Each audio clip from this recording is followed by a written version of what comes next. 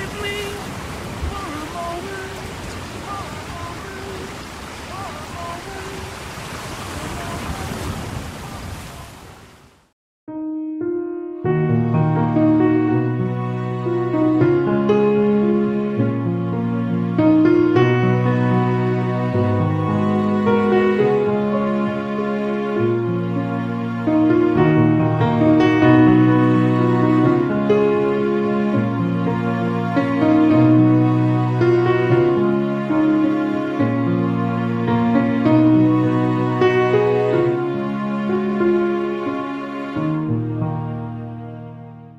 I find it hard work being retired, as I have to keep myself busy seven days a week. I now have a lot of free time since my boating season is over, so I have to find other things to occupy myself.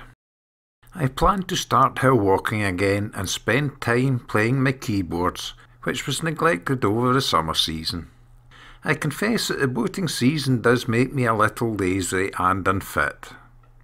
I had planned to start on some hill walks over the past few weeks, but I always found an excuse not to go.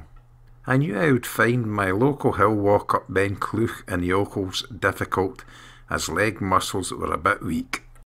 The hill walk is around seven miles long and I clamber up around 2,400 feet, taking in the summit of Ben Buck and Ben Cleuch.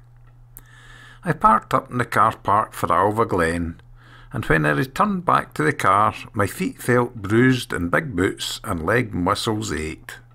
But I felt a lot better getting the first hill of the season done. I took four hours to complete the walk, so only 15 minutes slower than when I'm reasonably fit.